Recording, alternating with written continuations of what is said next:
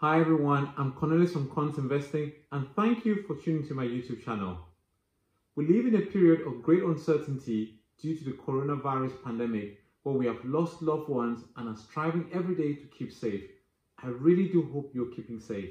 Such uncertainty is reflected in the markets where the money we have invested is also facing market equivalent uncertainty and volatility. So in this tutorial, I'll be sharing with you how market volatility can impact your portfolio during uncertain times, the ways to protect your portfolio against further volatility, and how you can benefit from any growth opportunities the markets may offer to boost your portfolio returns. This video builds on my previous videos on simple rules for successful investing so you will have a comprehensive guide on how to invest in both good and bad times alike. History suggests that every once in a while, Markets and investors panic for various different reasons, such as global pandemics that we're facing now, US-China trade war, US elections coming through soon, Brexit to name a few. And the recent events connected to the coronavirus outbreak are just the latest manifestation of another risk called market volatility, which in simple terms measures the ups and the downs of the market, usually the US market as captured by the US S&P 500 index. So in essence, Volatility measures how much of a roller coaster ride an investment gives you. The main index which measures volatility in the US is called the VIX index or the fear gauge as it's called for investors as you can see from the trend since 1986. For context, most of the time, this index is somewhere in the range of between 10 or 20 index points. But at the start of the COVID lockdowns in March 2020, this measure spiked to above 80 index points, which was significant. And that was a jump of nearly 25 index points in just one day alone. And it goes to explain how nervous investors were in the market, which was reflected in this VIX index. So consequently, the S&P 500 was down by more than 37% from its peak at the time. And as you can see in the chart, but the key thing to note is that while markets do panic regularly, they also rebound when the panic fades or if there is market optimism. So if you hold any stocks in your portfolio which have not recovered yet, you should be asking yourself why they haven't recovered or whether they still have a place in your portfolio. The shares may now be cheap, but there's a good chance they will even remain so or even get cheaper unless they can demonstrate a business model which can be adapted to the post-new COVID era. So how can an investor protect themselves against market volatility? Investors can certainly protect themselves against volatility through asset diversification which is one of the few saving graces for investors to potentially reduce their risk and losses against such market uncertainties. And this really means having a mixture of stocks, bonds, properties, and other asset classes to reduce your risk across the different assets. And the assumption here is that each would behave in a somewhat different way, reflecting to the market dynamics and price trends and spread out the risk over time. So anyone fully invested in stocks and shares will be more exposed to market volatility and losses if they are not considered creating a well-diversified portfolio. In comparison, if you had a good proportion of your assets in bonds, your performance may be much better on a relative basis. But having said that, even though shares and stocks would have been badly hit this year, diversification can still be achieved with an only equities portfolio where the shares are spread across different industries and geographies. So the only adjustments worth making in times of crisis that we face right this moment are ones to ensure that you have a diversified portfolio to help spread your risk. And so in moments like this, the natural home for money in times of crisis are either US government bonds or defensive sectors such as beverages, pharmaceuticals, and utilities, or other asset classes such as gold and cash. We'll now take a deeper dive into these asset classes to see how you can access them and what else you could be doing to protect your portfolio and ensure that you're set up to benefit from any growth opportunities the market may offer. The first consideration is to get exposure to gold. And this is either through an exchange traded fund or the physical asset.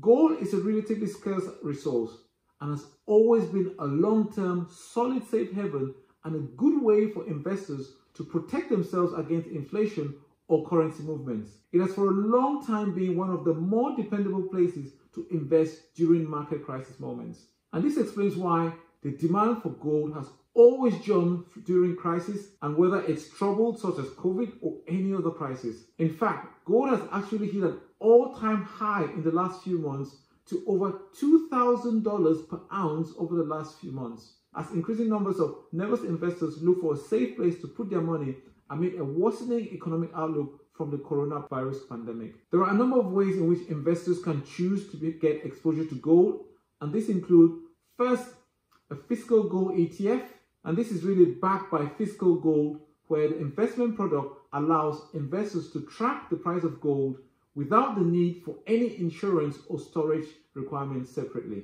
And some examples of uh, such ETFs are iShares Physical Gold, which is run by BlackRock, and has returned over 28% year to date and has an ongoing charge of 0.19%. Another alternative is SPDR Gold Shares ETF, which is one of the cheapest on the market with an annual charge of 0.1% and run by the American ETF giant State Street. This ETF has actually accumulated over $80 billion of investors' money in 2020 alone and owns over 1,200 tons of gold I mean, to put this in perspective, this is more than four times the amount of gold held by the Bank of England and almost double the amount of gold held by the Bank of Japan. So huge demand, huge rush by investors into holding the physical asset gold. Another option is by buying gold bars or coins, which enables investors to own physical gold metal, or by buying shares in gold mining companies. However, the key thing to note here is that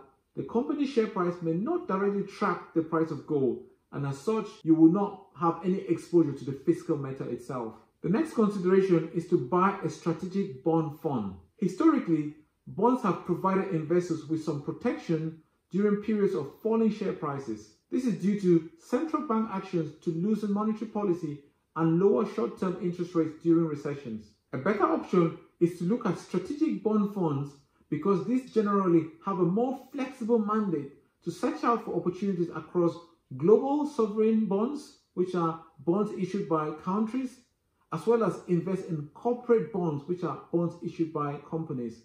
And effectively, the risk of the portfolio can be dialed up or down according to the perceived opportunities and the risk appetite from yourself as a retail investor.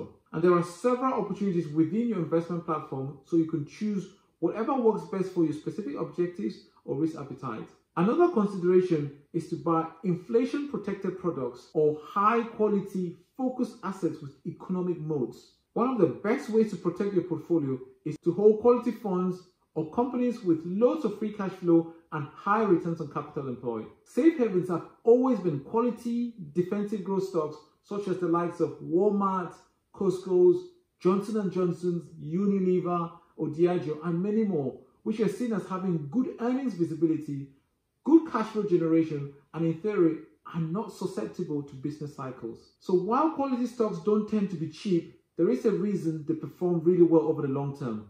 Typically, they are companies delivering a product or service for which there is significant and continuous growing demand. These companies should also enjoy strong barriers to entry and generate loads of cash flows to reinvest into the business, build a cash buffer for tough times, and also to be able to return cash to shareholders through dividends. By the way, if you're getting value from this video, please hit the like and subscribe buttons below and let me know if you've got any questions you may have at the moment.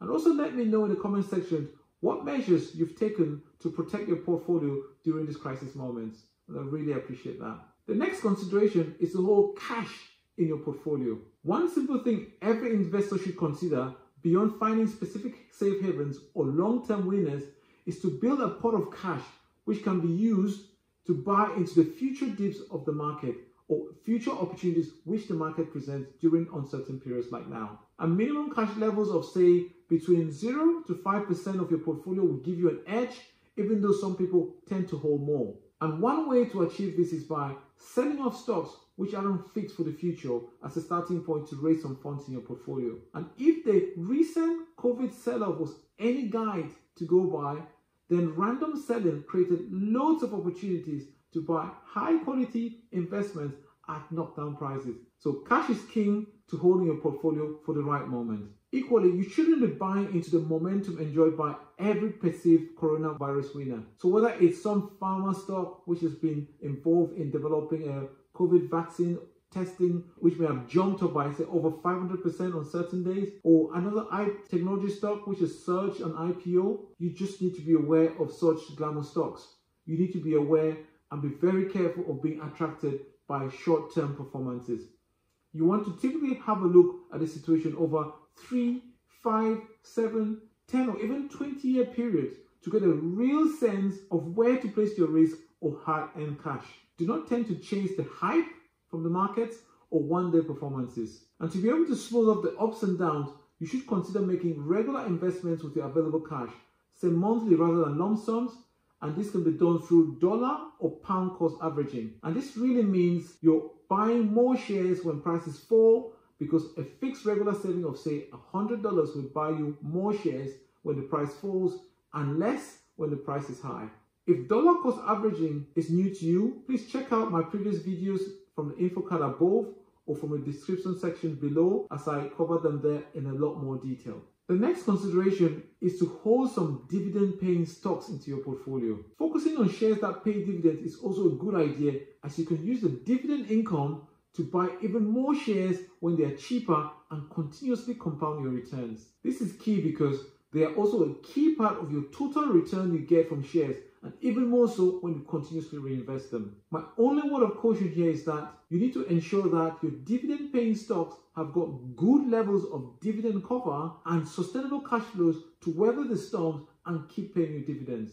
The COVID pandemic has been a good test of this theory to shine the torch on the real dividend payers. So for example, the biggest dividend payers in the FTSE 100 index in the UK were from financial services and oil and gas sectors. But the impact of COVID on their business models has meant that dividends have either been scrapped, cut, or delayed, which has left investors to seek new havens in the more reliable consumer goods sector, which have lower dividend yields. So next up is to align your time horizon to your investment objectives. So if you say your investment objective is to, is to build wealth for your pension or to buy a house, which is a time-bound objective, you might need to access your investments within the next two or five years. So in this case, investing solely in riskier equities and shares, which can go up or down with great regularity, might not be the best strategy for you. So if you pick the wrong years to invest, you might lose as much as 50% of your capital and then only have a short period of time to recover that loss. You need to remember that if markets fall by say 50% in one year and you invested $1,000 at the beginning, you'll be left with $500 at the bottom. And if the market were to rebound by another 50% from that bottom, you'll still have only $750 after that rebound. And by contrast, if your time horizon was say longer, say 10 or 20 years, you should easily be able to survive maybe one or even two outbreaks of market mayhem and still be in the game to benefit from multiple rebounds over that long-term period. So what really matters here is your time window, and that is how long your investment horizon is, what your objectives are, and your choice of assets accordingly. But starting your investment journey as early as possible will give you a good chance to be able to ride the market storms and survive over the long term. So ultimately, the best guidance is to remain calm, don't overreact to events, stay invested,